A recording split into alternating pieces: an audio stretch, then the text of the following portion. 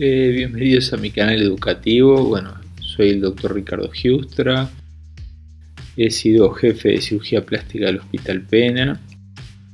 Soy profesor de la Universidad de Medicina y eh, desde el año 94 me, dedico al uso de tecnología láser, ya sea para el rejuvenecimiento facial, sobre todo periorbitario, frontal, donde yo no saco piel no doy puntos y soy reconocido internacionalmente por este tema y viajan pacientes de todo el mundo a operarse.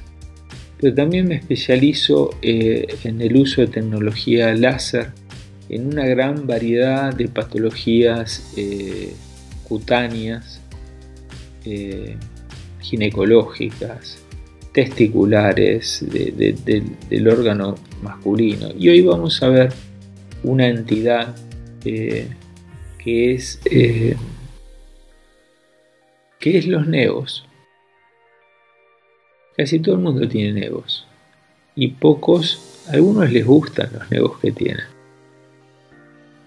Y, y otros no se operan por las secuelas cicatrizales que van a tener. Porque la propuesta tanto del dermatólogo, cirujano es la resección del nego. Entonces hay otra posibilidad terapéutica que ofrezco, es el uso de la tecnología láser para removerlos, no dejar cicatriz y ni siquiera dar puntos, ni siquiera hacer anestesia inyectable, porque la alta velocidad de impacto del láser vaporiza la lesión sin dañar y sin producir dolor.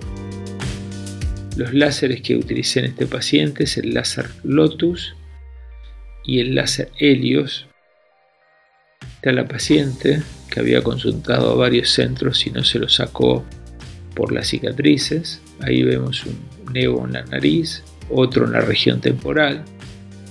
Y usé este láser, este es el Erbium. Y este es el resultado después de dos sesiones. Ahora cuando le saqué la foto le hice otra, otra sesión para completar esto la nariz y esto dos sesiones. En el momento que le saqué esta fotografía, después le hice una sesión más y con esto desaparece totalmente. Entonces pueden ver acá cómo se atenuó y acá casi como desapareció y después desaparece completamente. Y este es el relato del paciente que nos cuenta cómo le fue. muchos ¿Cómo te fue el del de la nariz? Un poquito.